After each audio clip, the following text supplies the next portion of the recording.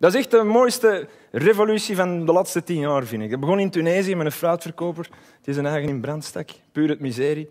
En dat golfde verder over de Arabische wereld. Syrië zijn ze nog altijd bezig. Bahrein. Bahrein. Bahrein. Klinkt eerder als een dorp in West-Vlaanderen, vind je niet? Bahrein. Oh, wat is dat? Bahrein. Bestaan ze hè? Ze hem, Bahrein. Bahrein, Brugge 2-0. Voilà. Bahrein. Wat ligt in het, Midden-Oosten? Bahrein. Hoofdstad van Bahrein? Manama. Bastards. Wat een fantastische plek. De Palestijnen hoopten mee te kunnen golven op die, op die Arabische revolutie. Die vroegen bij ons lidmaatschap aan van de Verenigde Naties, gelijk op Facebook. Wij willen lid worden. En wij deden juist gelijk op Facebook. We gaan het niet weigeren, we gaan het negeren. Voilà. Dat hebben wij gedaan. Vraag het niet, dan moeten wij het niet weigeren. Dat is hetgeen wat we gezegd hebben. Sympathiek. En, uh... dus die hebben het moeten doen met hun traditionele maand vrede. Dat is alles wat ze nog hadden. Het is in juli weer. Hè. Een vrede, maand vrede in Palestina. Of gelijk de Joden het noemen, pauwverlof. Komt hetzelfde neer. Jammer, maar helaas. Dus die, hopelijk komt dat voor die gasten ook nog langs. De Egyptenaren die hebben misschien het mooiste voorbeeld gegeven. Op dit moment even een kleine verhakkeling, maar de revolutie zelf een fantastisch verhaal. Echt filmmateriaal. Ik ben in Egypte geweest in, in april op een andere reis, omdat nu de moment is. Maar die, die waren het gewoon kotsbeu. Die waren Hosni Mubarak kotsbeu. Die zijn met een miljoen Egyptenaren naar Cairo gewandeld. Kwaad. Hè? Die zijn er straten beginnen openbreken, kassaaien smaten op de flikken. Altijd goed. Hè? Uh, traangas terug in de flikkencombi gegooid. Heb je dat gezien? Door dat open dak. Die beelden, dat was bangelijk. Drie seconden ervoor, kleine stresssituatie in die combi. Roger, ga, gaat dat toch dicht gedaan? Bangelijk. En dan zijn die met een miljoen kwaai Egyptenaren naar Mubarak zijn paleis gemarcheerd. Een miljoen kwaai moslims, dat is veel.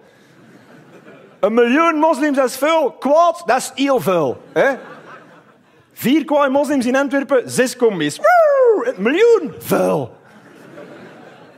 Eén kwaad. Ik weet niet of je het kwaai moslims kent, maar... Uh, hè? Als bij ons, de, de Pakistan, van mij, bij mij in de nachtwinkel, zijn wisselgeld op is, doe ik het al in mijn broek. Hè? Ik heb geen twintig cent. Een miljoen, vuil. Hè? En die Mubarak heeft er nog een week lang zo gezeten. Koor, lekker toch, niks, na, na, na, na, na. Misschien gaan ze weg van hun eigen. Nee, nee. Bam, ze hebben die buiten geschot. En daarna zijn ze met een miljoen Egyptenaren heel Cairo terug gaan opkussen. Ik weet niet of je die beelden hebt gezien. Die zijn iets minder op nieuws geweest, maar nog altijd. Die, die hadden zoiets van, dat is hier onze stad, wij shotten naar buiten, wij kassen dat hier terug op. Al die straten terug heraangelegd en heraangelegd. Hè. In het Arabisch wil zeggen stenen leggen. In het Vlaams is dat opensmijten en laten liggen.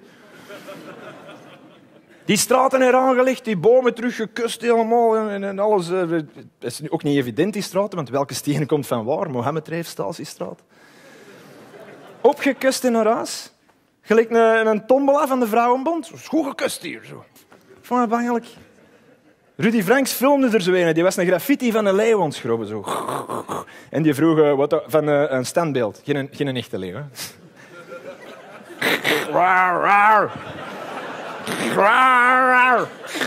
Ik ga niet alles uitleggen. Is een bronzen leeuw. En die vroeg, what are you doing? En die gast zei, oh, it says down with Mubarak, but he's already down, so... Geniaal. Hier, hier in de Raanderstraat in Antwerpen. Mensen die van hier zijn kennen, dat staat een legendarische graffiti. Al 15 jaar lang staat er een klein graffiti op de muur. Er staat poëtische eenvoud. Er staat kak op flik. Staat er. Zo groot. Staat er al 15 Kak op flik. Geen woord te veel. Kak, waar, op flik. Dat is, dat is een haiku. Hey, kak op flik.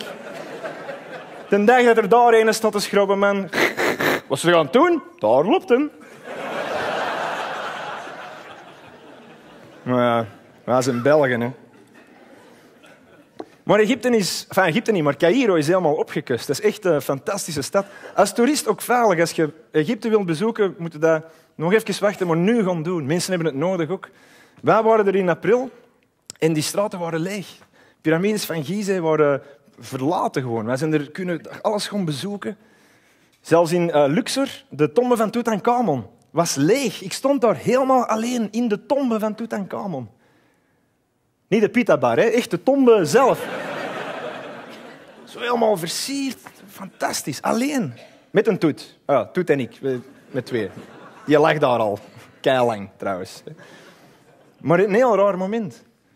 Dus ik heb toen iets gedaan wat in 3500 jaar wereldgeschiedenis nooit gebeurd is.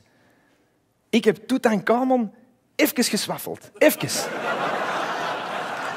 Maar dat is historisch, hè? Dat is, dat is nooit gebeurd in 3000 jaar mensengeschiedenis. En nu gebeurt het ook niet. Ik was door de enigste met een voorhaat, dus ik moest het wel doen. Even zo... Tegen dat glas. Tegen dat glas, hè. Glas niet op de mummie, hè. Zot, op die windel en zo... Blijft dat...